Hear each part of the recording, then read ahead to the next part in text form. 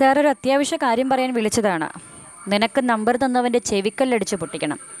Mukesh M L A വിളിച്ച വിദ്യാർത്ഥിയോട് തിരിച്ച് നമ്മുടെ എം എൽ എ കൊടുത്ത മറുപടിയാണിത്. എങ്കിലും വോട്ട് ചെയ്ത് ജയിപ്പിച്ചു വിടുന്ന ജനങ്ങളോട് ഇങ്ങനെയൊക്കെയാണോ മുകേഷ് എം എൽ എ പെരുമാറേണ്ടത്? തീർത്തും ഒരു കൊച്ചുകുട്ടിയായിരുന്നില്ലേ അവൻ? അപ്പോൾ നമുക്ക് എന്തായാലും ആ ഒരു ഫോൺ സംഭാഷണത്തിലേക്കൊന്ന് പോയി നോക്കാം. ഇതൊക്കെ കേട്ടിട്ട് നിങ്ങളൊന്ന് വിലയിരുത്ത്. Hello sir? ഹലോ? ആ സാർ ഞാൻ പാലക്കാട് നിന്നാണ് വിളിക്കുന്നത്. പാലക്കാടോ? ഈ ആറ് പ്രാവശ്യമൊക്കെ വിളിക്കുന്ന. പറയാം നമ്മളൊരു മീറ്റിംഗിൽ ഇരിക്കുമല്ലേ ഇത്?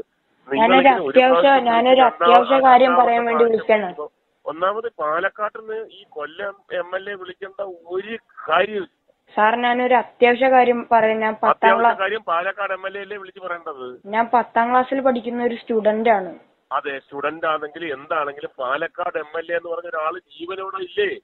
സാർ എനിക്ക് സാറ് നമ്പർ ഒരു കൂട്ടുകാരൻ തന്നപ്പോ ഞാൻ വിളിച്ചു കൂട്ടുകാരൻ നോക്കിയതാണ് എന്ന് പറഞ്ഞാൽ അവന്റെ ചെവി കുറ്റുനോക്കി അടിക്കണം. സ്വന്തം പാർട്ടി സ്വന്തം മണ്ഡലത്തിലുള്ള എം എൽ എയുടെ നമ്പർ തരാതെ വേറെ ഏതോ രാജ്യത്തുള്ള വേറെ ഏതോ ജില്ലയിലുള്ള എം എൽ എയുടെ നമ്പർ തന്നിട്ട് അവൻ എന്താ പറഞ്ഞത് അവൻ? അല്ല ഒന്ന് വിളിച്ചു നോക്കാൻ പറഞ്ഞു. ഞാനൊരു ഓക്കെ സാർ ഇയാൾ എം എൽ എ വിളിച്ചോ?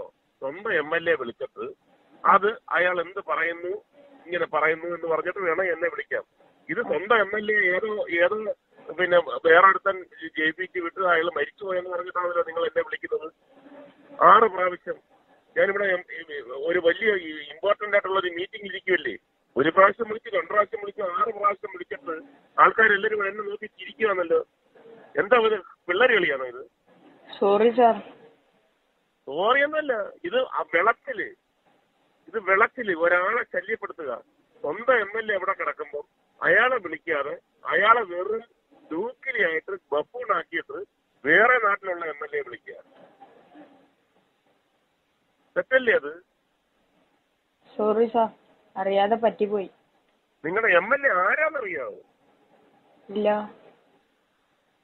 സ്വന്തം എം എൽ എ ആരാന്നറിഞ്ഞൂടാ പത്താം ക്ലാസ്സിൽ പഠിക്കുന്നത്. നിനക്ക് എന്റെ മുമ്പിലുണ്ടായിരുന്ന നിനക്ക് ചൂരിൽ വെച്ച് തന്നെ അടിച്ചതായിരുന്നു സ്വന്തം എം എൽ എ ആരാന്ന് അറിഞ്ഞൂടാ? പാലക്കാട് എവിടെ നിന്റെ വീട്? പാലക്കാട് ഒറ്റപ്പാലം.